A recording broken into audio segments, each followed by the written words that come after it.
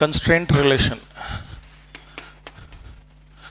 तीन चार तरह के कंस्टेंट रिलेशन होते हैं, जिसमें से एक दो तरह के हमने बात कर ली थी। जैसे सबसे पहला कंस्टेंट है that is called edge rod constraint जिसको मैंने लास्ट क्लास में समझाया था, जिसका एक बहुत ही सिंपल और छोटा सा लॉजिक है। और क्या है वो लॉजिक क्या है लॉजिक अगर मैं दो पॉइंट्स रॉड पर ले लूँ तो इन पॉइंट्स के पास वेलोसिटी अलग अलग डायरेक्शन में और अलग अलग मैग्नीट्यूड की हो सकती है। पर उन वेलोसिटीज का रॉड के लॉन्ग जो कंपोनेंट है वो सेम होगा। क्योंकि अगर ऐसा नहीं हुआ तो रॉड की लेंथ कांस्टेंट नहीं रह पाएगी रॉड टूट जाएगी इज़ अ नॉट तो रॉड कांस्टेंट जो हमसे कहता है, वो ये कहता है कि किसी भी परिस्थिति में, मान लेते हैं अगर ये कोई रॉड है है ना भाई? तो अलग अलग पॉइंट्स के पास अलग अलग वेलोसिटी हो सकती है, उसमें कोई प्रॉब्लम नहीं है। पर ऐसे अलग अलग पॉइंट्स के पास जो अलग अलग वेलोसिटी होगी, उसका मैं अलोंग द रॉड जो कंपोनेंट निकालूँगा, मान लेते हैं किसी पॉइंट के पास इस डायरेक्शन में कोई वेलोसिटी है वी है है ना भाई? और मान लेते हैं कि ये जो पॉइंट है, इस पॉइंट के पास इस डायरेक्शन में कोई वेलोसिटी है? वी बी ऐसा हो सकता है क्या? ऐसा बिल्कुल हो सकता है। और अगर आप थोड़े समझदार हैं तो ऐसा तब होगा जब ये रॉड रोटेशन और ट्रांसलेशन का कॉम्बिनेशन करेगी। अगर ये रॉड केवल ट्रांसलेशन करती तो सभी पॉइंट के पास सेम वेलोसिटी होती। ट्रांसलेशन का मतलब ये होता है। ट्रांसलेशन शब्द का क्या मतलब है? सभी लोग आइडेंटिकल लीनियर मोशन कर रहे हैं। इसलिए अगर कोई बॉडी ट्रांसलेट करे तो हम पूरी बॉडी के मोशन को उसके सेंटर ऑफ़ मास से रिप्लेस कर सकते हैं। सेंटर ऑफ़ मास को स्टडी कर लें, पूरी बॉडी को स्टडी हो गया। एक कार सड़क पर जा रही है। ये कार है और ये सड़क पर जा रही है ऐसे। किस तरह के मोशन का एग्ज़ाम्पल है? ट्रांसलेशन क्या मतलब है इस बात का? कि कार के अंदर जितने भी पार्टिकल्स हैं, जितने भी पॉइंट हैं, क्या वो सभी, क्या वो सभी इसी वेलोसिटी से चल रहे होंगे?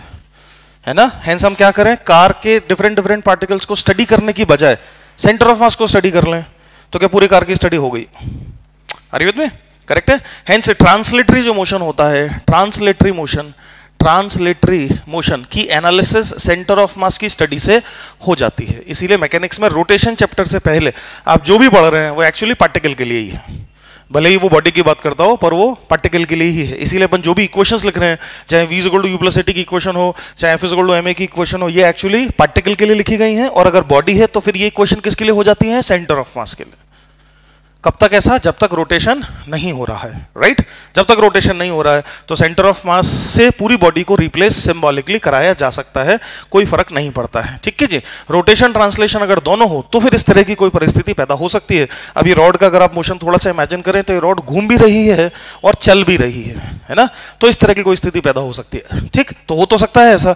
अगर ऐसा हो गया तो रॉड कंस्टेंट जो हमसे कहता है, वो ये कहता है कि along the rod along the rod जो कॉम्पोनेंट बनेंगे, वो सेम होने चाहिए विच सिंपली मीन्स कि अगर ये वाला एंगल इस मोमेंट ऑफ़ टाइम पर थीटा ए है और ये वाला एंगल इस मोमेंट ऑफ़ टाइम पर थीटा बी है तो वी और वी बी में क्या संबंध होगा? V A cos theta A बराबर V B cos theta B logic पकड़ना फॉर्मुला रटने की कोशिश मत करो। लॉजिक पकड़ो, क्या है logic along the rod velocity के कंपोनेंट बराबर होंगे, जिसको दूसरे शब्दों में कहूँ तो along the rod relative motion नहीं हो सकता है। ज़ीरो होना चाहिए। Along the rod relative motion नहीं हो सकता। तो रॉड कंस्टेंट एक शब्द, एक लाइन में रॉड कंस्टेंट का मतलब कोई मुझे समझाए तो क्या मतलब है उसका? Along the rod relative motion नहीं हो सकता है। अरे में करेक्ट है? तो रॉड कंस्टेंट का मतलब है no relative motion no relative motion along rod क्योंकि अगर ऐसा हुआ तो क्या हो जाएगा? सोचो, अगर b का जो कंपोनेंट है V B cos theta B अगर उसकी value V A cos theta A से ज़्यादा हो गई है ना? तो रॉड की लेंथ के अलोंग इन दोनों के बीच की जो दूरी है, क्या ये दूरी बढ़ जाएगी? वो तभी हो सकता है जब रॉड टूट जाए। या अगर V B cos theta B की value V A cos theta से कम हो गई तो क्या होगा? तो ये रॉड कंप्रेस हो जाएगी। और अगर ये रॉड रिजिड है रिजिड का मतलब है ना तो इसकी लेंथ बढ़ रही है, ना इसकी लेंथ कम हो रही है। अगर ये रॉड रिजिड है तो क्या V B cos theta B बराबर V A cos theta A होना ही चाहिए। है ना? समझ रहे हो? जैसे ट्रेन कोई चल रही हो ट्रैक पर। तो क्या हर बोगी का पैरेलल टू द ट्रैक जो कंपोनेंट है, वो बराबर होना चाहिए? अगर ऐसा नहीं हुआ तो क्या होगा? टूट जाएगी ट्रेन ऐसा नॉट तो बहुत ही सिंपल बात है. No relative motion along rod which in this example means means V A cos theta A बराबर V B cos theta B इसको बोलते हैं रॉड कंस्टेंट ये पहले तरह का कंस्टेंट है और बहुत ही यूजफुल है. छोटे छोटे क्वेश्चन इस पर बन जाते हैं. इसमें आप रॉड कंस्टेंट का इस्तेमाल करेंगे। ठीक है जी? अच्छा दूसरा जो कंस्टेंट है, वो है स्ट्रिंग कंस्टेंट इसको भी लास्ट क्लास में उठाया था मैंने। स्ट्रिंग कंस्टेंट दूसरा कंस्टेंट है string string constant string constant से मेरा मतलब है, क्या मतलब है मेरा? स्ट्रिंग कंस्टेंट से मेरा मतलब है कि अगर मैं किसी ब्लॉक और किसी स्ट्रिंग की सिचुएशन को इमेजिन करूँ ऐसे तो धागे को मैंने ब्लॉक से बाँध रखा है कुछ ऐसे। है ना भाई? तो इमेजिन करो कि परिस्थिति कुछ ऐसी है कि ये तो है फर्श ऐसा और आप धागे को खींच रहे हो ऐसे, किसी वेलोसिटी v से और ब्लॉक इस ज़मीन पर चल रहा है किसी वेलोसिटी यू से। तो क्या वी और यू अलग अलग हो सकते हैं? बिल्कुल हो सकते हैं, उसमें कोई दिक्कत नहीं है। ये v स्ट्रिंग वेलोसिटी है और ये U block velocity string velocity string के लेंथ के अलॉन्ग है ब्लॉक वेलोसिटी ग्राउंड के पैरेलल है। क्या ये दोनों अलग अलग हो सकते हैं? बिल्कुल हो सकते हैं। ठीक है जी? पर चूँकि धागा ब्लॉक से बंधा हुआ है तो क्या वी और यू में कोई संबंध होगा?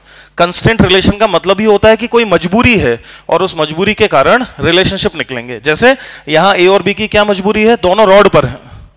हेंस एक रिलेशनशिप निकला। सिमिलरली यहाँ भी वी और यू की क्या मजबूरी है कि स्ट्रिंग ब्लॉक से बंधी हुई है। क्योंकि स्ट्रिंग ब्लॉक से बंधी हुई है सोच के देखो सोच के देखो कि ब्लॉक की वेलोसिटी का स्ट्रिंग के अलोंग जो कंपोनेंट होगा मान लेते हैं कि ये जो एंगल है ये एंगल है थीटा तो ब्लॉक की वेलोसिटी का, स्ट्रिंग के अलोंग कितना कंपोनेंट होगा? यू कॉस थीटा अगर यू कॉस थीटा वी के बराबर नहीं हुआ अगर यू कॉस थीटा वी से बड़ा हो गया तो क्या होगा? ब्लॉक स्ट्रिंग के डायरेक्शन में स्ट्रिंग से ज़्यादा डिस्प्लेस कर जाएगा। अगर ऐसा हुआ तो स्ट्रिंग स्लैक कर जाएगी ढीली पड़ जाएगी। और अगर u cos थीटा की वैल्यू v से छोटी हुई तो क्या होगा? तो धागे की वेलोसिटी ज़्यादा होगी और ब्लॉक की वेलोसिटी का कंपोनेंट धागे के डायरेक्शन में कम होगा, धागा तेज चलेगा ब्लॉक धीरे चलेगा along the direction of string धागा टूट जाएगा। अरे विद में करेक्ट है? ये इसका मैकेनिज्म है। नहीं समझ में आता, भाड़ में जाए। आप केवल एक दिमाग को, एक बात को दिमाग में बैठा लें कि ब्लॉक की वेलोसिटी का स्ट्रिंग के डायरेक्शन में कंपोनेंट स्ट्रिंग वेलोसिटी के बराबर होगा। ब्लॉक की वेलोसिटी का स्ट्रिंग के डायरेक्शन में कंपोनेंट स्ट्रिंग वेलोसिटी के बराबर होगा। Hence v should be equal to u cos theta are with me correct है? ब्लॉक की वेलोसिटी का कंपोनेंट स्ट्रिंग के डायरेक्शन में स्ट्रिंग के डायरेक्शन में अगर मैं लेता हूँ तो वो स्ट्रिंग वेलोसिटी के बराबर होगा। स्ट्रिंग वेलोसिटी है v ब्लॉक वेलोसिटी है u हेंस इक्वेशन बनेगी v बराबर u cos थीटा समझ रहे हो? बात समझ में आती है? करेक्ट है? क्या इसी को मैं ऐसा भी कह सकता था? अच्छा अच्छा ठीक है कंपोनेंट ही तो बराबर करने अगर मैं ऐसा कर लूँ, v cos थीटा बराबर u, v cos थीटा मतलब स्ट्रिंग की वेलोसिटी का कंपोनेंट ब्लॉक की वेलोसिटी के डायरेक्शन में बराबर कर दूँ तो ये गलत है इक्वेशन क्यों गलत है? क्यों गलत है? क्यों गलत है बोलो? कंपोनेंट ही तो तोड़ना है। ब्लॉक की वेलोसिटी का स्ट्रिंग में तोड़ लो, या स्ट्रिंग की वेलोसिटी का ब्लॉक में तोड़ लो। अगर मैं स्ट्रिंग की वेलोसिटी का ब्लॉक के डायरेक्शन में कंपोनेंट तोड़ूं तो क्या बनेगा? वी कॉस थीटा बनेगा। तो क्या वी कॉस थीटा बराबर यू भी होना चाहिए? ये बिल्कुल गलत है। ये इसलिए गलत है क्योंकि इस रिलेशनशिप को लिखने के लिए आपके पास कोई लॉजिक नहीं है। हा? इसको लिखने के लिए लॉजिक है। फटाफट बताओ लॉजिक क्या है? इसको हाँ बोलो शाबाश। स्ट्रिंग के डायरेक्शन में ब्लॉक और स्ट्रिंग के बीच रिलेटिव मोशन नहीं हो सकता है। स्ट्रिंग के डायरेक्शन में, ब्लॉक और स्ट्रिंग के बीच रिलेटिव मोशन नहीं हो सकता है, क्योंकि अगर हुआ तो क्या हो जाएगा? या तो स्ट्रिंग ढीली पड़ जाएगी, या स्ट्रिंग टूट जाएगी। बोलो। विद में क्या है कंसेप्ट क्या है? Along the direction of string no relative motion with me correct है? जैसे यहाँ मैंने कंसेप्ट बताया, क्या कंसेप्ट है? No relative motion along rod ऐसी स्ट्रिंग कंस्टेंट किस बेसिक सिद्धांत पर काम कर रहा है? स्ट्रिंग के डायरेक्शन में no relative motion right right? तो इसका इसका जो कंसेप्ट है वो है no relative motion along string एक लाइन में समझ लें बस। No relative motion along string तो आपको खुद ही समझ में आ जाएगा कि v बराबर यू कॉस्थीटा लिख सकते हैं v कॉस्थीटा बराबर यू नहीं लिख सकते। अरे विद क्योंकि कंसेप्ट क्या है? कंसेप्ट है no relative motion along string तो क्या कंपलसरी स्ट्रिंग के डायरेक्शन में कंपोनेंट तोड़ने पड़ेंगे? इस पर बहुत खूबसूरत और बहुत मुश्किल दिखने वाले क्वेश्चंस बन जाते हैं। जैसे फॉर एग्जांपल एक क्वेश्चन जो आपने खूब देखा होगा, और हो सकता है आज तक कभी उसका सही लॉजिक समझ में ही ना आया हो। अगर आप उसको देखें और पकड़ें तो मान लेते हैं कि ऐसी कुछ सिचुएशन है। ये ब्लॉक है। देखा होगा ज़रूर? है ना भाई? ये स्ट्रिंग को इधर खींच रहे हैं, अपन मान लेते हैं किसी वेलोसिटी वी से। इस स्ट्रिंग को भी इधर खींच रहे हैं किसी वेलोसिटी वी से। ये स्ट्रिंग भी फिक्स्ड है इस जगह पर, ऐसे। और ये पुली ये पुली भी फिक्स्ड है इस जगह पर, ऐसे। दोनों रस्तियों को वी वी वेलोसिटी से खींचा जा रहा है, जैसा चित्र दिखा रहा है है ना? कंसिक्वेंस क्या होगा? क्या ब्लॉक भाई साहब ऊपर जाएँगे, सोचो। आप गड्ढे में फंस गए आपको दो रस्तियों से बाँध के खींचा जा रहा है, आपका क्या होगा? आप ऊपर जाएँगे। है ना?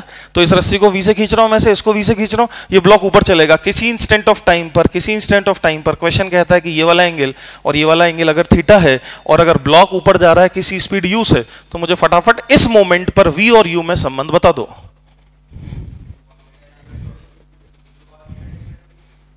U cos is equal to V ठीक है जी? अब मेरा एक दूसरा लॉजिक समझो। ये स्ट्रिंग वी से जा रही है।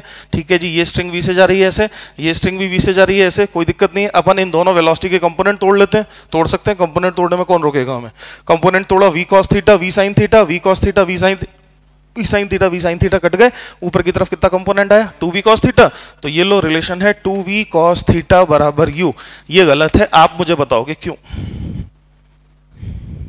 बोलो शाबाश। ये गलत है? देखने में तो काफ़ी ठीक लग रहा है। अब तक तो ये करते थे जीवन में। ये रही वेलोसिटी दो कंपोनेंट तोड़ लिए ऐसे ऐसे। ये v cos theta v sine theta इसके भी v cos theta v sine theta v sine theta cut गए। V cos theta v cos theta जुड़ गए। हेंस अपवर्ड डायरेक्शन में कितना कंपोनेंट आया? टू वी कॉस थीटा और ये भी तो अपवर्ड ही जा रहा है। Hence two v cos theta बराबर यू ये गलत है। क्यों? कि बोलो, शाबाश। क्योंकि आपने स्ट्रिंग कंस्टेंट का इस्तेमाल ही नहीं किया। आप तो अपने मन से कुछ भी कर रहे हो। किसने कहा आपसे वर्टिकल डायरेक्शन में रिलेटिव मोशन ज़ीरो है? अरे विद मी आपने स्ट्रिंग की वेलोसिटी जो वर्टिकली अपवर्ड डायरेक्शन में थी टू वी कॉस थीटा यहाँ तक सही है। ब्लॉक की वेलोसिटी जो वर्टिकल डायरेक्शन में थी यू, यू यहाँ तक भी सही है। आपने इन दोनों को कैसे बराबर कर दिया? क्या मेरी बात समझ पा रहे हैं? क्योंकि जो कंस्ट्रेंट है वो तो हमसे कुछ और ही कह रहा है। वो क्या कह रहा है? वो कह रहा है स्ट्रिंग के डायरेक्शन में रिलेटिव मोशन नहीं होगा। तुम तो अपने मन से किसी भी डायरेक्शन में रिलेटिव मोशन ज़ीरो तुम तो वाई डायरेक्शन में रिलेटिव मोशन ज़ीरो कर रहे हो। भाई क्यों? कंसेप्ट तो कुछ और ही है, तुम कुछ और ही कर रहे हो तो आंसर कहाँ से आएगा? कंसेप्ट क्या है?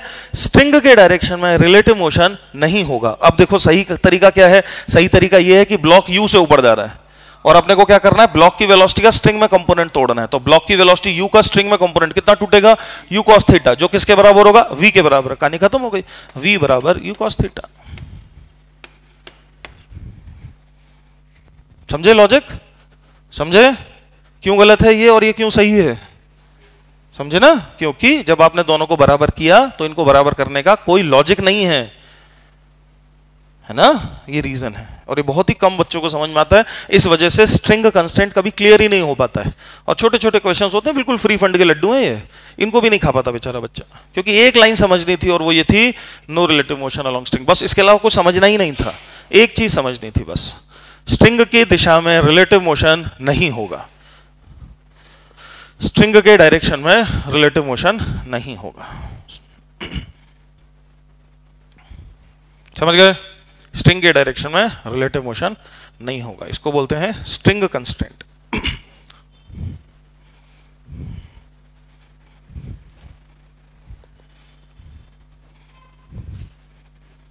अच्छा जी, फिर एक और तीसरे तरह का कंस्टेंट है, उसको बोलते हैं वेज कंस्टेंट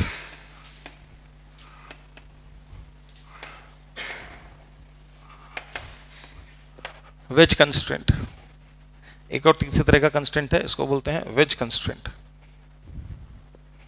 इसको समझ लो, ये भी बहुत आसान है. इसको समझने के लिए मैं एक एग्ज़ाम्पल ले रहा हूँ, और उस एग्ज़ाम्पल में कुछ ऐसा है कि ये एक इंक्लाइन प्लेन है ऐसा, जैसा कि डायग्राम में मैंने दिखाया, और इस इंक्लाइन प्लेन के ऊपर एक वर्टिकल रॉड है, जो कि कुछ इस तरह से है, ऐसा कुछ। और मान लेते हैं कि इंक्लाइन प्लेन का जो एंगल है, वो है थीटा इंक्लाइन प्लेन ग्राउंड पर है, कुछ इस प्रकार से, ऐसा। और ये जो रॉड मैंने दिखाई है, ये रॉड दो वर्टिकल वॉल्स के बीच में है। तो एक वर्टिकल वॉल ये है, और एक वर्टिकल वॉल ये है, और रॉड दो वर्टिकल वॉल्स के बीच में फंसी हुई है। स्लिप कर सकती है बस, ऐसा। ऐसी कुछ परिस्थिति इमेजिन करो। एक रॉड जो दो वर्टिकल वॉल्स के बीच में है। ना? और एक इंक्लाइन प्लेन या वेज जैसा जो ज़मीन पर रखा हुआ है। ठीक? आप मुझे दोनों के अलग अलग पहले मोशन बताओ। अपना दिमाग लगाओ इंट्यूशन लगाओ इमेजिन करो कि अगर ये चला, या मान लेते मैं इसको अगर चलाने की कोशिश करूँ तो चूँकि ग्राउंड से कांटेक्ट नहीं छोड़ रहा है कभी भी तो ये कैसा चलेगा? ग्राउंड के पैरेलल ठीक है जी? और ये अगर चलेगा तो कैसा चलेगा? केवल ऊपर नीचे वर्टिकल क्योंकि दोनों दीवालों के बीच फंसा हुआ है। एक बॉल हो, उसको दो दीवालों के बीच अगर इमेजिन किया जाए तो बॉल का मोशन केवल कैसा हो सकता है? वर्टिकल हॉरिजॉन्टल मोशन तो नहीं हो सकता। तो वो जो रॉड है, उसका मोशन केवल वर्टिकल हो सकता है, और वो जो इंक्लाइन प्लेन है, उसका मोशन केवल हॉरिजॉन्टल हो सकता है। अरे में कहानी समझ में आती है? करेक्ट है? मान लेते हैं कि ये जो इंक्लाइन प्लेन है, ये इंक्लाइन प्लेन इस डायरेक्शन में किसी वेलोसिटी यू से किसी इंस्टेंट ऑफ़ टाइम पर जाता हुआ आपको दिखाई दे रहा है और ये रॉड डाउनवर्ड डायरेक्शन में किसी वेलोसिटी v से आती हुई दिखाई दे रही है। ग्राउंड फ्रेम से। ये दोनों वेलोसिटीज किसके फ्रेम से हैं? ग्राउंड फ्रेम से। क्या v और u के बीच कोई संबंध होना चाहिए? होना तो चाहिए, क्योंकि इंडिपेंडेंट नहीं है एक दूसरे के। है ना? Hence let us try to find out what is the relationship between v and u v और यू के बीच में क्या संबंध होगा? Let us try to find out let us try to find out अब देखना मज़ेदार बात, बहुत मज़ेदार बात और बहुत ही मज़ेदार चीज़, समझ में आ गया तो बस मज़ा ही आ जाएगा। आप अगर ग्राउंड पर खड़े होकर देख रहे हैं तो आपको ये अलग चलता दिख रहा है, ये अलग चलता दिख रहा है। दो दो लोग चलते हुए दिख रहे हैं और फिर हम उन दोनों के बीच का संबंध निकालने की कोशिश कर रहे हैं। ये थोड़ी मुश्किल बात है। अपन एक काम करते हैं इंक्लाइन प्लेन के फ्रेम में चले जाते हैं।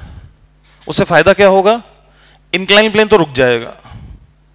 और अब उस रुके हुए इंक्लाइन प्लेन के ऊपर रॉड चलेगी। बोलो, सोचो इमेजिन करो। इंक्लाइन प्लेन के फ्रेम में चला गया तो इंक्लाइन प्लेन तो रुक गया। ये तो रुक गया। और इसके ऊपर रॉड चल रही है। बता सकते हो रॉड अगर इंक्लाइन प्लेन के ऊपर चले तो रॉड का मोशन या तो parallel and up the plane होगा या parallel and down the plane होगा। दो पॉसिबिलिटी है, सोच के देखो। सोचो। किसके फ्रेम से? इंक्लाइन प्लेन के फ्रेम से। हैंस इंक्लाइन प्लेन के फ्रेम से अगर मैं रॉड को देखूँ तो रॉड का मोशन कैसा दिखाई देगा? या तो पैरेलल एंड डाउनवर्ड या पैरेलल एंड अपवर्ड अरविद में हैंस एक काम करते हैं इंक्लाइन प्लेन के फ्रेम से रॉड को देखते हैं। रिलेटिव मोशन के फंडे अपने को पता है? तो velocity of A with respect to B would be velocity of A minus velocity of B hence incline plane के फ्रेम से फ्रेम से अगर मैंने रॉड को देखा तो क्या ये वाला यू वाला वेलोसिटी तो रिवर्स हो जाएगा? ये वी वाला वेलोसिटी ऐसे ही रहेगा। हैंस वेक्टर डायग्राम के थ्रू अगर आप समझें तो ये यू वाला वेलोसिटी तो रिवर्स हो जाएगा ऐसे और वी वाला वेलोसिटी ऐसे ही रहेगा। जो मैं समझाना चाह रहा हूँ अगर आपको समझ में आ गया है तो आपको बे, बेसिक बात जो समझ में आनी चाहिए वो ये कि यू और वी का जो रिजल्टेंट है वो इस इंक्लाइन प्लेन के पैरल आएगा। बोलो? आर में करेक्ट है? करेक्ट है? U और v का जो रिजल्टेंट है, वो किसके पैरेलल होना चाहिए? इंक्लाइन प्लेन के पैरेलल होना चाहिए, क्योंकि इंक्लाइन प्लेन पर अगर कोई आदमी खड़ा हो जाए, ऐसे अगर कोई आदमी खड़ा हो जाए तो उसको वो जो रॉड है, वो रॉड या तो नीचे जाती हुई दिखाई देगी, या ऊपर जाती हुई दिखाई देगी। अरे में parallel to the incline plane hence incline plane के फ्रेम से अगर मैं रॉड को देखूँ इंक्लाइन प्लेन के फ्रेम से रॉड को देखूँ तो इंक्लाइन प्लेन के फ्रेम से देखने का मतलब है इंक्लाइन प्लेन खुद की जो वेलोसिटी है, उसको रिवर्स किया और रॉड की वेलोसिटी में जोड़ दिया। ये देखो, जोड़ दिया। और अब इन दोनों का जो रिजल्टेंट है, क्या यही तो रिलेटिव वेलोसिटी है जो आदमी देखेगा? तो this is the relative velocity of the rod as seen by this person ये आदमी यही वेलोसिटी तो देखेगा। और क्या parallel to the incline plane होगी? बिल्कुल होगी साहब। है ना? हेंस अगर ये वाला एंगल थीटा है, उस चित्र में अगर ये वाला एंगल थीटा है तो क्या ये वाला एंगल भी थीटा ही होगा? अल्टरनेट एंगल है ऐसा होने के कारण, बताओ फटाफट टेन थीटा बराबर कितना? V बाय यू बोलो? टेन थीटा कितना? V बाय यू समझ में आती है बात मेरी? टेन थीटा कितना? V बाय यू खत्म हो गई बात। एक लाइन का था। Hence tan theta tan theta is equal to कितना? V बाय यू ये रिलेशनशिप आ गया। कितना आसान? समझ रहे हो? टेन थीटा बराबर v बाय यू सही बात है ना, इसमें इसमें कोई शक करने की बात ही नहीं इंक्लाइन प्लेन की फ्रेम से रॉड को देखोगे तो रॉड या तो नीचे जाती दिखाई देगी ऊपर जाती हुई दिखाई देगी, दो ही तो पॉसिबिलिटी है है ना? हेंस टेन थीटा बराबर कितना? V by u this is called as wedge constant this is called as wedge constant and it is very interesting हाँ शाबाश, बहुत बढ़िया बात करी तूने। एक्चुअल जो कंस्टेंट है वो ये है कि क्योंकि फिजिकली रॉड और इस वेज का या इस इंक्लाइन प्लेन का कॉन्टैक्ट छूट नहीं रहा है। दैट इज़ द कंस्टेंट नहीं तो कोई संबंध होता ही नहीं दोनों के बीच। और चूँकि कांटेक्ट नहीं छूट रहा है हेंस अगर मैं इंक्लाइन प्लेन के फ्रेम से देखूँ तो मुझे क्या दिखाई देगा? मुझे ये तो दिखाई देगा कि सरफेस के अलोंग चल रहा है। है ना? रुकी हुई सरफेस हो गई वो तो और रुकी हुई सरफेस पर चल रहा है। Hence parallel to the incline plane चलता हुआ दिखाई देगा। समझ रहे हो? करेक्ट है? हम बहुत ही इंपॉर्टेंट बातें कर रहे हैं, क्योंकि ये एक एक एक एक लाइन के आंसर हैं इनके, और ये खूब नंबर देंगे आपको पेपर में, और ये एक एवरेज बच्चे को बिल्कुल समझ में नहीं आता है, क्योंकि वो बेचारा कभी समझने के लिए, या तो उसको बेचारे को समझाया नहीं जाता है, या वो कोशिश नहीं करता है समझने की, दोनों में से कोई भी बात हो सकती है, वो रट लेता है अच्छा ये हो तो ये हो जाएगा, ये हो तो ये हो जाएगा, रट लो कितना भी एग्ज़ाम है तो नया डायग्राम आएगा, रट लो, कितना रटोगे? फिजिक्स है ना ये? क्वेश्चन वाइज अगर देखें तो इनफाइनाइट क्वेश्चन बना सकता हूँ मैं, है ना? तो क्वेश्चन वाइज अगर आपने इसको समझने की कोशिश की तो आप पागल हो जाएँगे पूरी तरीके से। ये तो ऐसा हो गया, जैसे कोई डिक्शनरी याद करने की कोशिश करे। पागल ही हो जाएगा वो। शब्दों की, शब्द तो कुछ भी बना सकते हो, शब्द तो इनफाइनाइट है भाई, है ना? ऐसा। तो वेज कंस्टेंट जो बहुत ही मज़ेदार है और इंटरेस्टिंग है।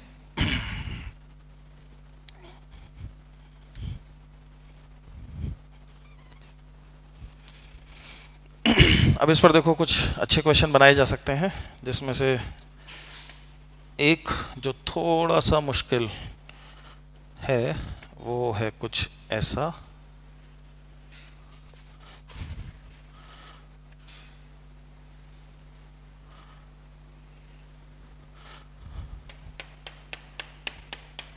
तो अब मैंने आपको दिखा दिया है दो वेज और एक स्फेयर। तो ये दो वेज हैं, ये वेज भाई साहब हैं ए ये वेज भाई साहब हैं बी और ये मान लेते हैं एंगल है थर्टी डिग्री का, ऐसा। दो वेज और एक स्फेयर मैं इस चित्र में दिखा रहा हूँ। ठीक है जी? एंड राइट नाउ इस समय, ये जो वेज है, ये वेज इस दिशा में जा रहा है with speed of two metre per second let us imagine और ये जो वेज है, ये वेज इस डायरेक्शन में जा रहा है, इसको भी, इसको क्या ले लें, इसको थ्री ले लेते हैं, चलो तो three metre per second as per the situation आपको बताना है कि वो जो स्फेयर है, उसका स्पीड क्या होगा? What would be the speed of the sphere आपको बताना है कि स्फेयर का स्पीड क्या होगा?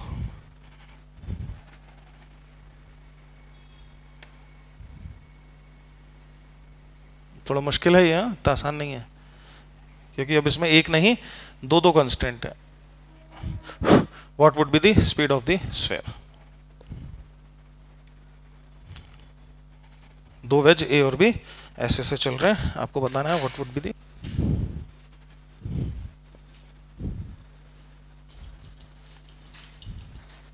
कैसे करोगे? क्या करोगे? सबसे पहली बात जो समझ में आनी चाहिए वो ये कि स्फेयर के पास वेलोसिटी किस डायरेक्शन में होगी? वर्टिकल हॉरिजॉन्टल या कैसे? स्फेयर के पास। दोनों होगी। दोनों होगी। That could be the safest thing मुझे क्या पता? मुझे क्या पता? है ना भाई?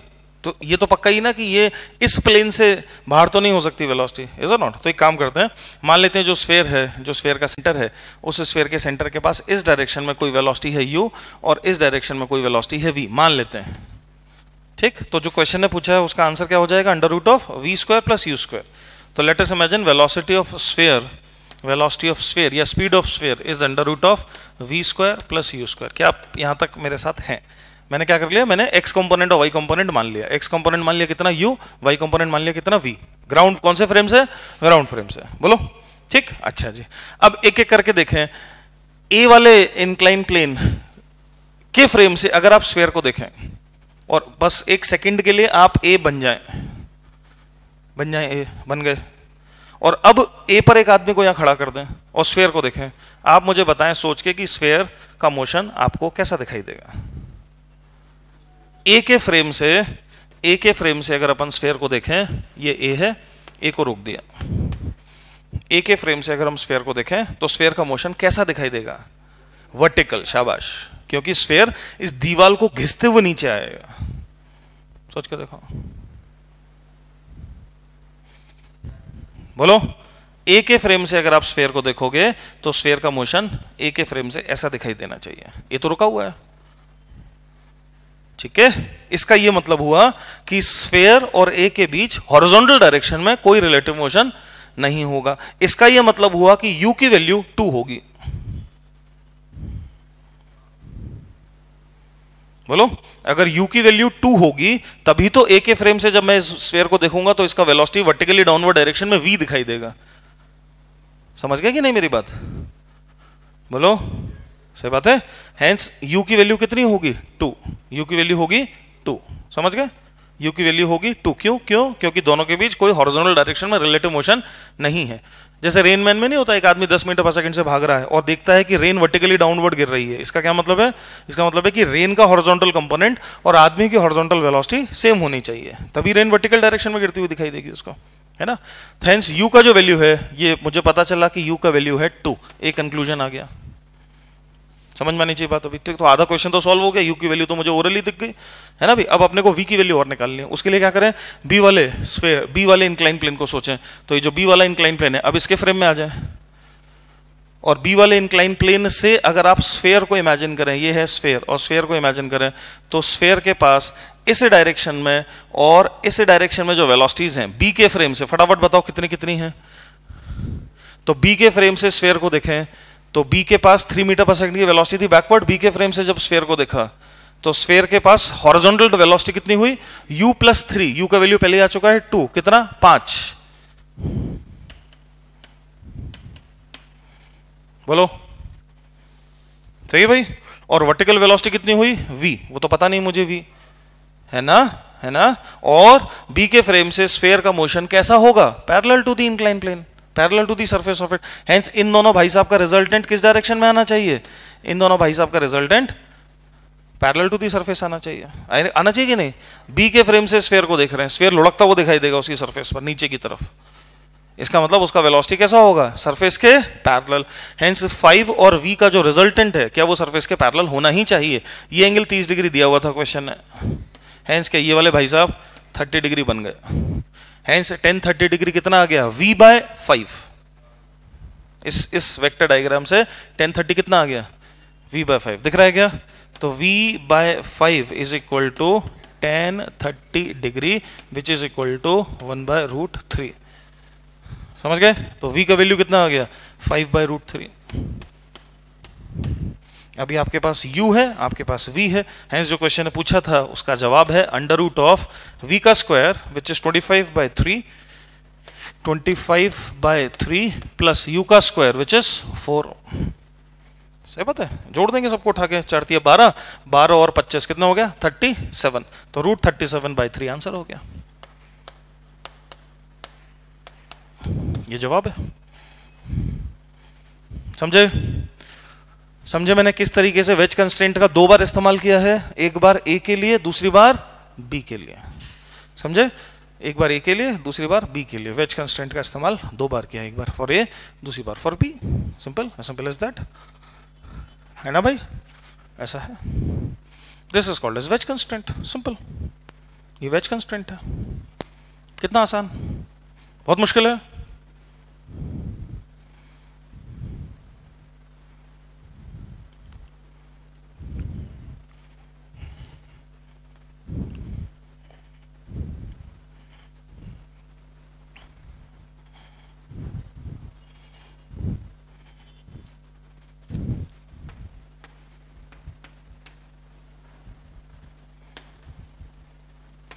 चौथा देखो। पुली कंस्टेंट इसको समझो। दो प्रकार की पुली होती है, हम जानते हैं कौन कौन सी दो प्रकार की पुलियाँ हैं। फिक्स्ड एंड मूवेबल दो प्रकार की पुलिस हैं फिक्स्ड और मूवेबल जैसे फॉर एग्जांपल हाँ? क्यों आएगी यू के लिए लिए तो टू है बेटा। ग्राउंड फ्रेम से पूछा ना उसने तो वेलोसिटी वो तो रिलेटिव फ्रेम से था ना, इसके बी के फ्रेम से देखा ना। तो बी के फ्रेम से जब देखा तो बी की जो three metre per second velocity थी, वो रिवर्स करके यू में जोड़ी, तब तो पाँच बना। पर यू तो दो है। है ना? ये ये डायग्राम ग्राउंड फ्रेम से थोड़ी बनाया गया। किसके फ्रेम से बनाया? बी के फ्रेम से। और हमें वेलोसिटी किसके फ्रेम से पूछी है? ग्राउंड फ्रेम से। और ये वी और यू यू और वी किसके फ्रेम से है? ग्राउंड फ्रेम से। समझ रहे हो ना? तो शुरू ही यहाँ से कि अपन ग्राउंड फ्रेम से है। और फिर दो फ्रेम में जाके उनकी वैल्यूज़ निकाली अलग अलग जाके है ना? ऐसा है। हाँ जी तो देखें जरा तो सिचुएशन ऐसी है कि ये एक फिक्स्ड पुली है। इसको फिक्स कर रखा है मैंने ऊपर से, ऐसे। और इस फिक्स्ड पुली पर दो ब्लॉक हैं जो झूल रहे हैं, इधर उधर चल रहे हैं, एक ऐसे और एक ऐसे। ये दो ब्लॉक हैं। ठीक? ऐसे।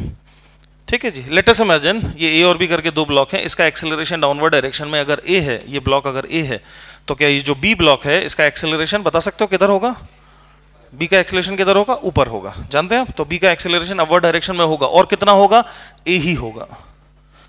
है ना? हैंस अगर आप इस डायग्राम को ध्यान से देखें तो आपको एक बड़ी मज़ेदार बात समझ में आएगी कि acceleration of A is equal to minus acceleration of B देखो ध्यान से वेक्टर वाइज क्योंकि मैग्नीट्यूड बराबर है डायरेक्शन रिवर्स है।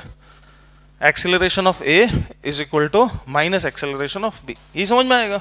है ना? इसका ये मतलब हुआ कि अगर कोई फिक्स्ड पुली हुई फिक्स्ड पुली हुई तो उस फिक्स्ड पुली से इधर उधर जो दो ब्लॉक्स लटके हुए होंगे, वो इक्वल एंड अपोजिट एक्सेलरेशन पर होंगे ऑब्वियसली ये अगर ऐसे नीचे जा रहा है तो इसको इसे ऊपर आना होगा इक्वल एंड अपोजिट एक्सेलरेशन होंगे, और उनके बीच जो संबंध होगा वो ये होगा। यहाँ तक बात समझ में आती है। अच्छा जी, परेशानी तब हो जाती है जीवन में जब पुली मूवेबल हो जाए। तो अगर कोई मूवेबल पुली हो तो समस्याएँ हो जाएँगी। तो ये मान लेते हैं कोई मूवेबल पुली है, और ये पुली का सेंटर अपवर्ड डायरेक्शन में किसी एक्सेलरेशन से चल रहा है, जिसको मैं बोल रहा हूँ AP acceleration of pulley pulley ऊपर जा रही है। है ना भाई? और अगेन पुली से फिर दो ब्लॉक लटके हुए हैं ए और बी जैसा कि उस चित्र में था तो ये ब्लॉक है ए और इधर दूसरा ब्लॉक लटका हुआ है, ये ब्लॉक है बी है ना? तो पुली ऊपर जा रही है किसी एक्सलेशन एपी से, या किसी भी दिशा में जा रही है, किसी एक्सलेशन एपी से वेक्टर में दिखा दिया मैंने, और ये ए और बी दो लोग हैं। ठीक है जी? तो एक्सेल, ये ए और ये बी ठीक? अच्छा जी ए का एक्सेलरेशन ऊपर भी हो सकता है, नीचे भी हो सकता है, कहीं भी हो सकता है, मुझे नहीं पता कहाँ है। ए का एक्सेलरेशन कहीं भी हो सकता है। मान लेते हैं ए का एक्सेलरेशन ग्राउंड फ्रेम से है ए एज अ वेक्टर तो क्या सारे केसेस अपने आप कवर हो गए? बी का एक्सेलरेशन भी ऊपर नीचे कहीं भी हो सकता है। Imagine acceleration of B is A B as a vector vector लेते ही ऊपर नीचे सारे केसेस अपने आप कवर हो गए। तो मैंने तीनों को वेक्टर लिख रखा है सो so दैट मैं सभी प्रकार के मूवेबल पुली के केसेस को एक ही डायग्राम से रिप्रेजेंट कर दूँ। तो पुली का एक्सेलरेशन है एपी ए का एक्सेलरेशन है ए ए और ब्लॉक बी का एक्सेलरेशन है ए बी आपको जो केवल एक बात समझ में आनी चाहिए वो ये कि ये तीनों ही एक्सेलरेशन कौन से फ्रेम से हैं? ग्राउंड फ्रेम से। ये तीनों एक्सेलरेशन ग्राउंड फ्रेम से हैं। कोई ग्राउंड पर खड़ा आदमी देख रहा है और ये तीन एक्सेलरेशन उसको दिखाई दे रहे हैं। हमारा ऑब्जेक्टिव ये है कि इन तीनों में क्या संबंध होगा, हम वो निकालना चाहते हैं। क्या आप समझ रहे हैं कि ए ए और ए बी की कुछ भी वैल्यूज़ हो सकती हैं और कुछ भी डायरेक्शन हो सकता है? क्या ऐसा नहीं हो सकता कि ए ए भी ऊपर की तरफ़ हो ए बी भी ऊपर की तरफ़ हो? सोच के देखो इमेजिन करो, मैं पुली को बहुत तेज एक्सलेशन से ऊपर खींचूं तो क्या दोनों ब्लॉक ऊपर जा सकते हैं क्या? बिल्कुल जा सकते हैं। और क्या ऐसा भी हो सकता है कि एक ऊपर जाता हो, दूसरा नीचे जाता हो, पुली ऊपर जाती हो? क्यों नहीं हो सकता? ये भी हो सकता है तो कुछ भी हो सकता है। अपन सर्टेनिटी से नहीं कह सकते कि ए ऊपर जाएगा तो बी को नीचे जाना ही पड़ेगा ग्राउंड फ्रेम से। ऐसा नहीं कह सकते। कुछ भी हो सकता है। इज़ नॉट क्योंकि अभी पुली का सेंटर मूवेबल है राइट और अब हम ऐसी मुश्किल परिस्थिति में जहाँ कुछ भी हो सकता है, इन तीनों के बीच रिलेशनशिप निकालना चाहते हैं, जो कि काफ़ी मुश्किल काम है। पर हमारे पास एक आसान चीज़ थी पहले। अब जरा इन दोनों को कंपेयर कर, समझ में आएगा, ये कितना आसान है और ये कैसा राक्षस जैसा है। इसमें तो बहुत ही आसान है, ये ऊपर जाएगा बेचारा गरीब तो इसको नीचे जाना ही पड़ेगा, और सेम एक्सेलरेशन से। और यहाँ तो कुछ भी हो सकता है, ये तो बदमाश है बहुत ज़्यादा। तो एक काम करते हैं, इस बदमाश को अच्छा बच्चा बना देते हैं। बता सकते हो कैसे? पुली के फ्रेम में चले जाते हैं। पुली तो चल रही है, वही तो समस्या है। पुली के फ्रेम में चले जाते हैं। पुली के फ्रेम में जाते ही क्या पुली रुक गई? पुली रुकते ही हमारी पुरानी दुनिया वापस आ गई। बोलो समझेगे मेरी बात? समझ रहे हो? फ्रेम्स में जाना कितना मज़ेदार काम है। एक चीज़ जो मेरे को रुके हुए पुली के लिए आती है, उसका इस्तेमाल मैं मूविंग पुली के लिए कर सकता हूँ। क्या करना है मुझे? केवल पुली के फ्रेम में जाना है। हेंस अगर मैं पुली के फ्रेम में चले जाऊँ तो मैं दूसरा डायग्राम बना रहा हूँ, जिसमें मैं पुली के फ्रेम में चला गया। तो मैं पुली के फ्रेम में चला गया, पुली को तो यहीं रोक दिया। जिसके फ्रेम में चले जाए, उसको रोक दिया अपन ने, है ना? और पुली के फ्रेम में जाने के बाद, अब ये जो ए था और ये जो बी था इनके फटाफट मुझे एक्सेलरेशन बताओ। Now what would be the acceleration of A with respect to pulley बोलो। It would be A A minus AP बोलो। Acceleration of A with respect to pulley कितना हो जाएगा? ए ए ए ए जो ग्राउंड फ्रेम से था minus AP and acceleration of B with respect to pulley कितना हो जाएगा? ए बी माइनस एपी मैं लिख रहा हूँ। Acceleration of A with respect to pulley is equal to कितना? ग्राउंड फ्रेम से acceleration of A minus acceleration of pulley बोलो भाई। Simple similarly acceleration of B with respect to pulley from ground frame is acceleration of B minus acceleration of pulley यहाँ तक भी समझ में आना चाहिए। है ना? और आपको जो मज़ेदार बात समझ में आनी चाहिए, वही समझ में आनी चाहिए कि अगर पुली के फ्रेम से ये है ए और बी के एक्सेलरेशन तो पुली के फ्रेम से ए और बी के बीच के एक्सेलरेशन में एक रिलेशनशिप होना चाहिए था, जो अपन ने ऊपर पहले लिखा हुआ है। हेंस क्या इन दोनों के बीच ये वाला रिलेशनशिप होना चाहिए? क्योंकि इनके एक्सेलरेशन इक्वल एंड अपोजिट होने चाहिए। मैग्नीट्यूड में बराबर होने चाहिए डायरेक्शन में अपोजिट होने चाहिए। Hence A A P vector और ए बी पी वेक्टर एक दूसरे के अपोजिट होने चाहिए। ये अपोजिट वेक्टर्स होने चाहिए। है ना? हेंस चूँकि अपोजिट वेक्टर्स होने चाहिए तो यूजिंग दिस रिलेशनशिप क्या दिखाई देगा आपको? आपको दिखाई देगा A A minus A P is equal to minus of A B minus A P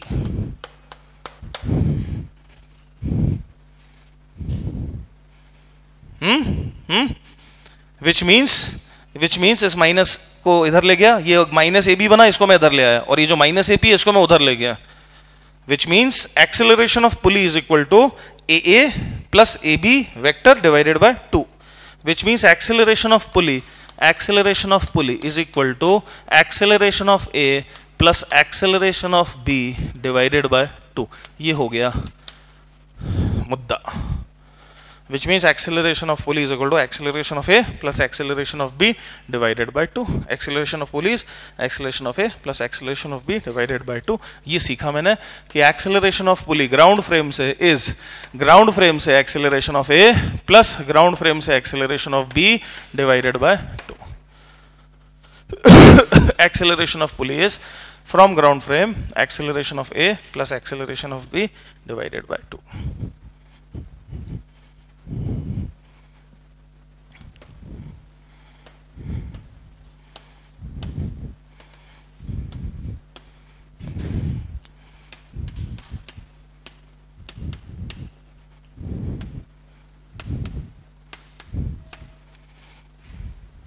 find acceleration of pulley with direction if this is the acceleration from ground frame of the two bodies give me the acceleration of pulley if this is acceleration of A and B give me the acceleration of pulley with direction acceleration of pulley क्या होगा what would be the acceleration of pulley below the acceleration of pulley is AA plus AB by 2 AA को plus 1 लिया तो AB को minus two लूँगा मैं। ये तो करूँगा। Hence acceleration of pulley acceleration of pulley is one minus two by two which is minus one by two which is point five metre per second square minus का sign क्या कह रहा है? पुली नीचे आ रही है। हेंस इस क्वेश्चन में पुली का जो एक्सेलरेशन है, वो डाउनवर्ड डायरेक्शन में होगा ऐसे। हो सकता है, कुछ भी हो सकता है। तो पुली का acceleration point five metre per second square downward direction में होगा और ये परिस्थिति बनेगी। सिंपल इज़ दैट समझ रहे हो भाई? ऐसा है।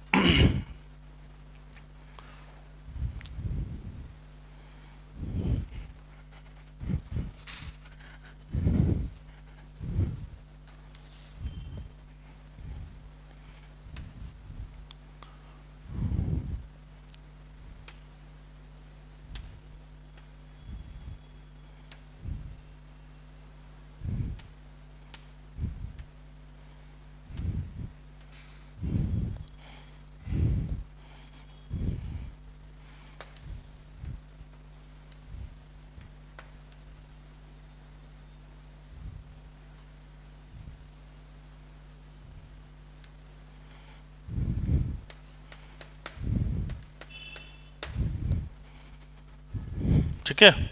अगला क्वेश्चन देखो जरा। तो मान लेते हैं सिचुएशन कुछ ऐसी है कि ये कोई ब्लॉक है। ए जिसका मास मुझे नहीं पता, और ये एक फिक्स्ड पुली से कनेक्टेड है, और फिर एक मूवेल पुली है जो दोनों लोगों से कनेक्टेड है, और ये मूवेबल पुली में दो ब्लॉक है। मान लेते हैं this block is of two के mass and this block is of one के मास ऐसा? ठीक? This is of 2 kg mass and this is of this is of 1 kg mass ठीक है जी ऐसा है and the question says this 2 kg वाला is going downward with an acceleration of 2 meter per second square and 1 kg वाला is going downward with an acceleration of 1 meter per second square there is no friction anywhere find the mass of block A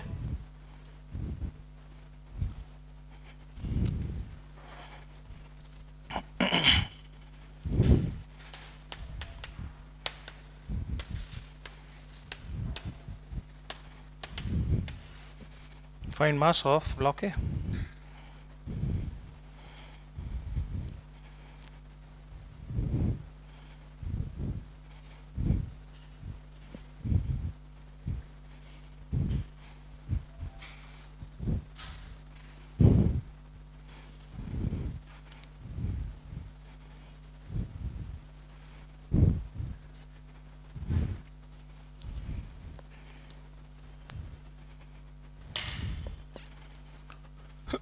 there's no friction anywhere right this is uh, pulleys are massless obviously pulleys are massless there's no friction anywhere so find the mass of a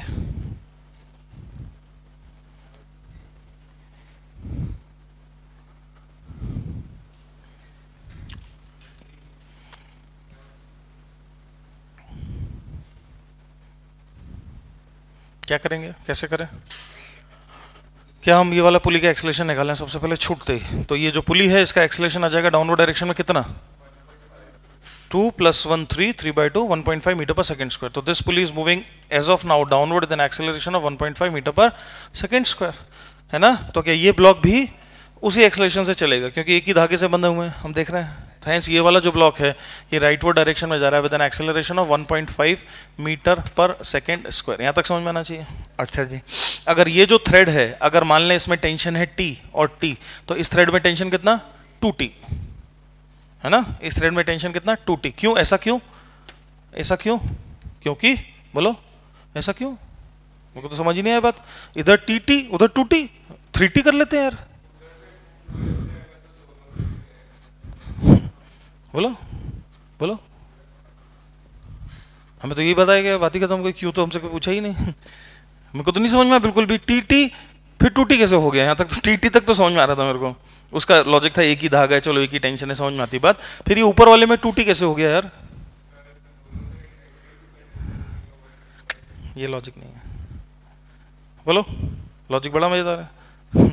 logic ये है कि जो पुल ना logic ये है कि ये जो पुली है ये जो पुली है, जिस पर आप ये सारा खेल खेल रहे हो, इस पुली की थोड़ा सा अगर मैं इसमें चेंजेस कर दूँ ना तो अभी आपकी दुनिया उजड़ जाएगी। हाँ बोलो, शाबाश। मास का खेल है। तो इसमें टेंशन टी है, इसमें भी टेंशन टी है, और इस बेचारी गरीब पुली का मास ज़ीरो है। तो दुनिया में अगर कोई ऐसी चीज़ हो जिसका मास ज़ीरो है, और उस पर अगर हम न्यूटन की क्वेश्चन लिखें, जो कि हमसे कहती है summation of F is equal to M into A और बेचारे किसी गरीब का मास ही ज़ीरो हो तो? तो irrespective of acceleration summation of forces on such a body must always be zero irrespective of acceleration अरे विद मी विच मीन्स जो कि काफ़ी खतरनाक है a massless body can accelerate without force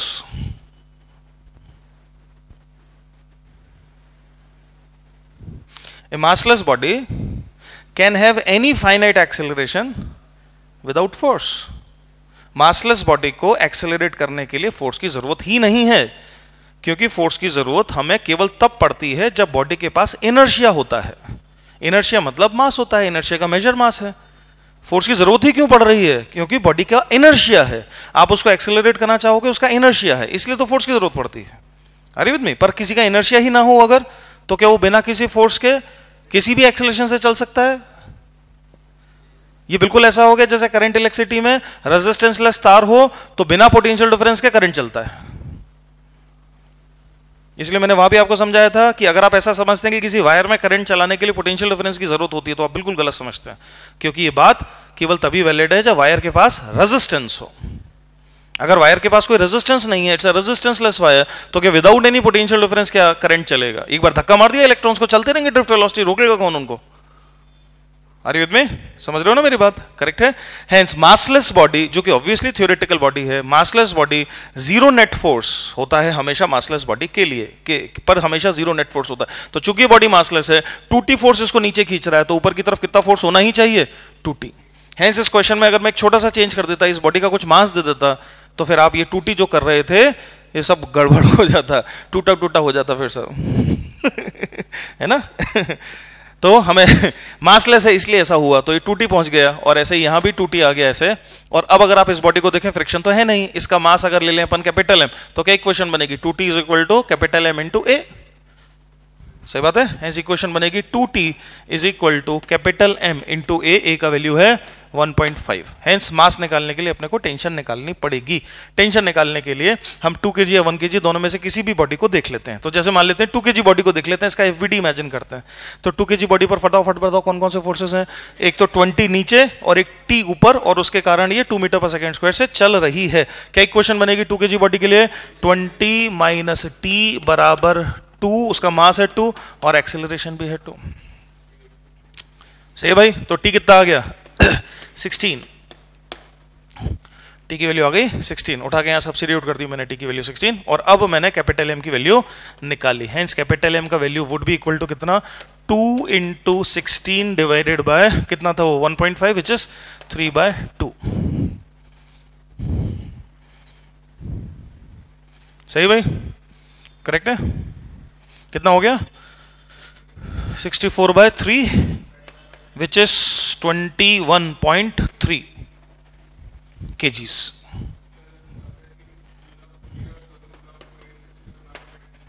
इसलिए नहीं मान सकते क्योंकि रिलेटिव मोशन हो रहा है दोनों के बीच।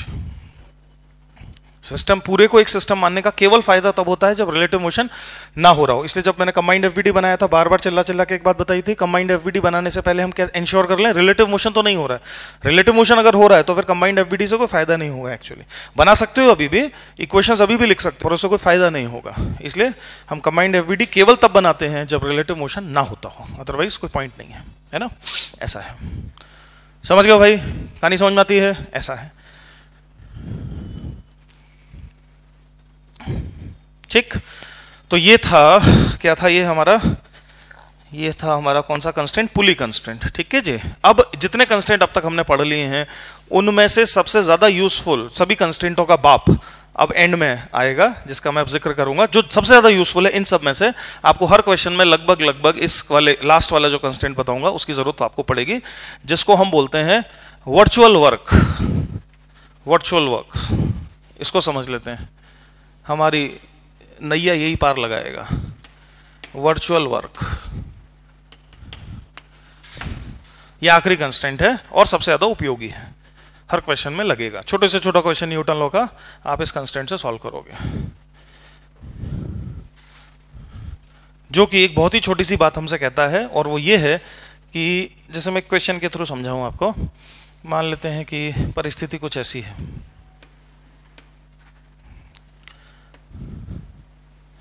ये रहा एक ब्लॉक और इस ब्लॉक से बाँध दिया मैंने एक धागा, ऐसे गया, वो ऐसे गया, ऐसे घुमा और ऐसे जाकर छत पर पहुँचा और यहाँ पर इसको बेचारे को बाँध दिया है ऐसे और फिर एक और पुली जो कि मूवेबल है, यहाँ पर कनेक्ट कर रखी है कुछ इस प्रकार से, ऐसे, ठीक है जी? और इस मूवेबल पुली से एक ब्लॉक ऐसे लटका दिया गया ये बी है, ये ए है, ठीक है? तो let us just look at this situation तो सिचुएशन कुछ ऐसी है कि धागा ऐसे चला, इस पुली के थ्रू होता हुआ गया, नीचे गया, इस मूवेबल पुली से होता हुआ छत पर मैंने ऊपर रूफ पर उसको टाई कर दिया समथिंग लाइक दिस ठीक ऑब्वियसली बी और ए के मोशन आपस में जुड़े हुए हैं कंस्ट्रेंट हैं, और अगर बी डाउनवर्ड डायरेक्शन में जा रहा है ऐसे with some acceleration A B with some velocity V B तो ए महाराज, इस डायरेक्शन में चलेंगे with some acceleration A A with some velocity V A and obviously A B A B A A और वी बी वी ए में संबंध आएगा। जिसको अपन कंस्टेंट बोलेंगे। ठीक है जी? वो संबंध क्या है? उसकी क्या कहानी है? अगर अपन उसको समझने की कोशिश करें तो ये वर्चुअल वर्क जो मेथड है, ये बहुत ही कमाल का काम करता है और सब रिलेशनशिप में, सभी लोगों में ऐसे ओरल रिलेशनशिप बता सकता है। उसको थोड़ा सा समझते हैं। वर्चुअल वर्क मेथड एक बहुत ही छोटी सी बात पर बेस्ड है और वो बात जो है, वो ये है कि ये जो स्ट्रिंग है ये जो स्ट्रिंग है चूँकि ये स्ट्रिंग मासलेस है और इनएक्सटेंसिबल है।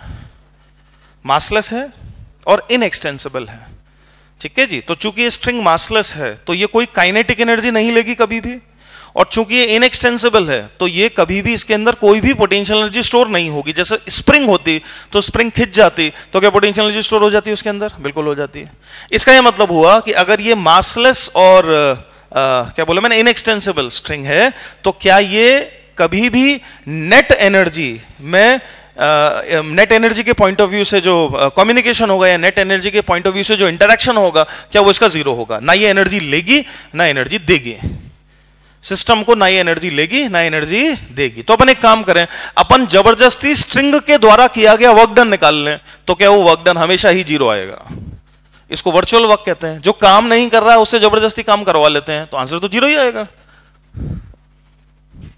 जो काम कर ही नहीं रहा है, उसे ज़बरदस्ती उसका वर्क डन निकाल लेते हैं। तो आंसर क्या आएगा? ज़ीरो इसीलिए उसको बोलते हैं वर्चुअल वर्क जैसे फॉर एग्ज़ाम्पल इस स्ट्रिंग में टेंशन है अगर टी तो ये टी टेंशन इस ब्लॉक पर लग रहा है। मान लेते हैं ब्लॉक ने कोई हल्का सा डिस्प्लेसमेंट किया एक्स ए तो टेंशन टी ने ब्लॉक पर कितना वर्क डन कर दिया?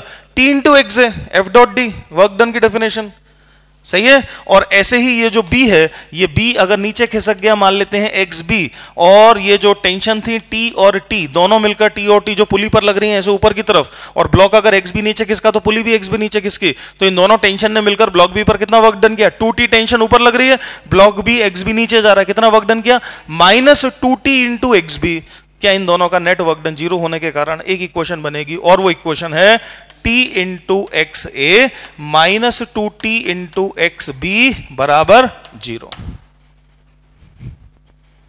which which means xa is equal to 2 times of xb which means a block b block की तुलना में दुगना खिसकेगा। ये अगर एक सेंटीमीटर खिसका तो ये भाई साहब दो सेंटीमीटर खिसकेंगे। ये मतलब हुआ? क्या बेटा? नहीं नहीं, केवल टेंशन का वर्कडन निकाला मैंने। केवल टेंशन का। क्योंकि मुझे मालूम है टेंशन का नेट वर्कडन क्या है? ज़ीरो है ना? टेंशन कहाँ कहाँ काम कर सकती? है यहाँ यहाँ और यहाँ। ये पॉइंट तो हिल भी नहीं रहा अपनी जगह से तो यहाँ तो वर्कडन एनी वे ज़ीरो है। ये पॉइंट डिस्प्लेस हुआ तो टेंशन ने यहाँ कितना वर्कडन कर दिया? टी इंटू एक्स और टेंशन ने यहाँ कितना वर्कडन कर दिया? Two T into X B with minus sign hence T into X minus two T into X B is to zero आपको क्या मिला? आपको मिला X is equal to two times of X B अरे में इसी क्वेश्चन को differentiate कर दीजिए तो आपको क्या मिल जाएगा? V is equal to two V B फिर डिफरेंशिएट कर दीजिए, आपको क्या मिल जाएगा? A A is equal to two A B hence virtual work जो कहता है हमसे, वो तीन बातें कहता है। वर्चुअल वर्क कहता है कि summation of T dot X is equal to zero do understand क्या कहना चाह रहा हूँ मैं इससे? Likewise, summation of t dot v is equal to 0 do you understand? And similarly summation of t dot a is equal to 0 अब आपको जो चाहिए निकाल लो। आपको डिस्प्लेसमेंट चाहिए, आपको वेलोसिटी में संबंध चाहिए, आपको एक्सेलरेशन में संबंध चाहिए, आपको जो चाहिए, कि आप इन तीन संबंधों से निकाल सकते हैं। है ना भी? और उसका जो लॉजिक है वो ये है कि ज़बरदस्ती वर्क डन करा दिया जाए अगर तो एक इक्वेशन बनेगी ये, इसको डिफ्रेंशिएट कर दो, फिर डिफ्रेंशिएट कर दो, ऐसे करके आपको तीन इक्वेशन मिल जाएँगी, जिसकी मदद से हम एक्सेलरेशन के बीच रिलेशनशिप को ढूंढ सकते हैं, निकाल सकते हैं, समझ सकते हैं। है ना भाई? ऐसा है।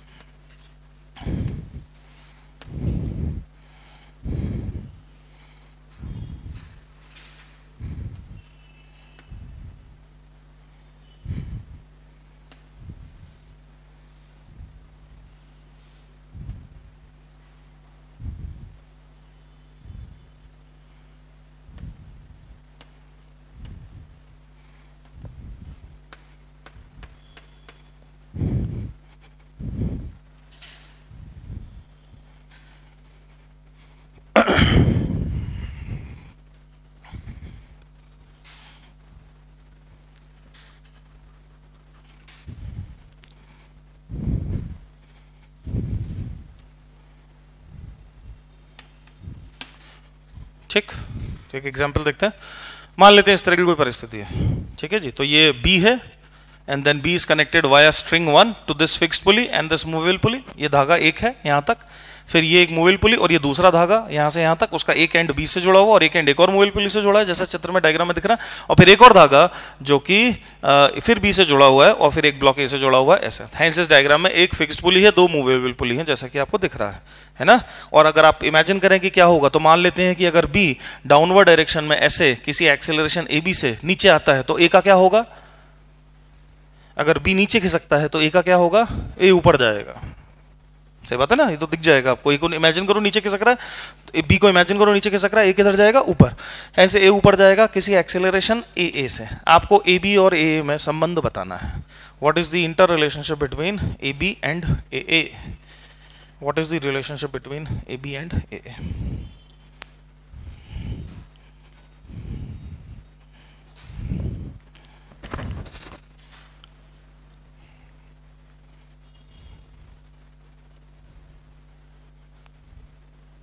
अरे बता गलत है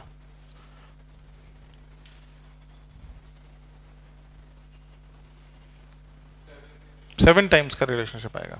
सेवन टाइम्स कैसे? ऐसे. मान लेते हैं इस थ्रेड में टेंशन है टी तो ये पूरा थ्रेड यहाँ तक है तो यहाँ भी टेंशन हो गई टी और इस थ्रेड में टेंशन कितनी गई? टू टी तो यहाँ टेंशन कितनी आई? टू टी इस थ्रेड में टेंशन कितनी गई? फोर टी तो यहाँ टेंशन कितनी आई? फोर टी अब अगर आप बी को देखें तो बी पर अवर डायरेक्शन में कितनी टेंशन चार, दो, छह और एक साथ seventy in the our direction hence seventy और ए बी डाउनवर्ड डायरेक्शन में है, इसलिए माइनस का साइन आ जाएगा। और T plus T into A A must be equal to zero इतना भी लिखने की ज़रूरत नहीं है एक्चुअली तो। ओरल है एकदम। Hence A A is equal to कितना? A A is equal to seven times of A B A is equal to 7 times of AB.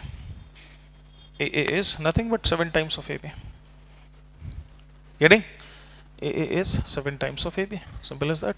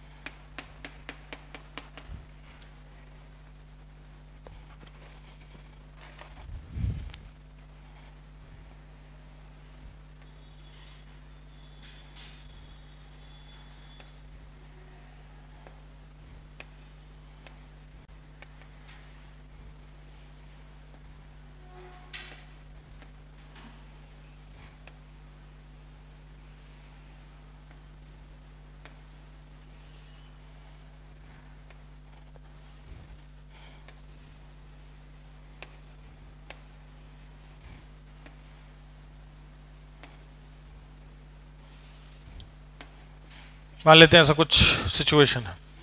दिख रहा है साफ़ साफ़ क्या हो रहा है? अगेन दो लोग हैं ए और बी ठीक है?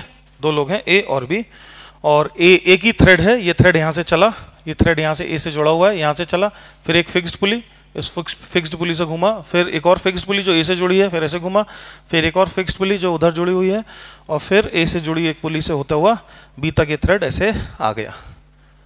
है ना? ऐसा कुछ है। ठीक है भाई? This is the situation let us imagine something is happening कि बी का मोशन हो रहा है कुछ और उसके करस्पॉन्डिंग ए का मोशन हो रहा है। Let us imagine A is moving rightward with an acceleration of small A सोच समझ के जवाब देना। You have to find out the acceleration of B question कह रहा है find acceleration of B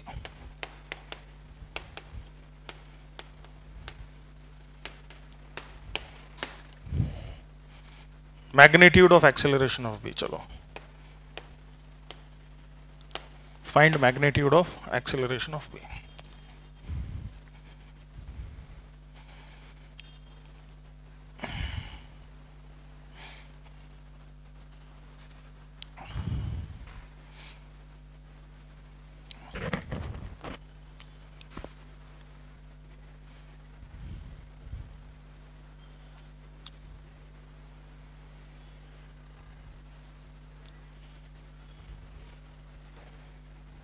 hello.